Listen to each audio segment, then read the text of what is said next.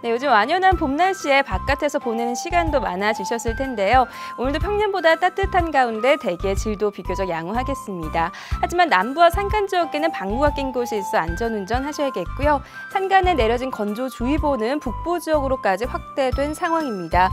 내일 비가 오기 전까지는 메마른 날씨가 이어지겠으니까요. 계속해서 봄철 화재 예방에 각별히 유의하셔야겠습니다.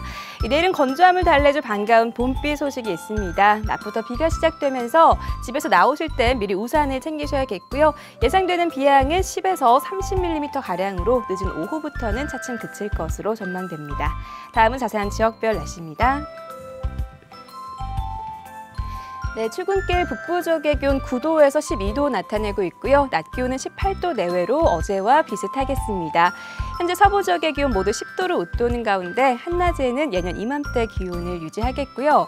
남부 지역의 낮 기온 20도 가까이 오르면서 가벼운 옷차림으로 야외 활동하기 무난하겠습니다.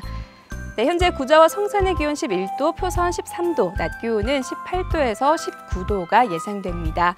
산간에는 오늘까지 대기가 무척 건조한 만큼 등산객들은 산불이 나지 않도록 불씨 관리 철저히 하셔야겠고요. 섬적 구름 많은 가운데 기온은 17도 안팎까지 오르겠습니다. 물결은 모든 바다에서 잔잔하게 일겠고요.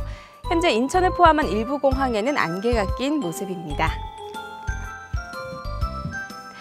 네, 내일 비가 그치고 나면 일요일에는 또 한 차례 비 소식이 있다는 점 참고하셔야겠습니다. 날씨였습니다.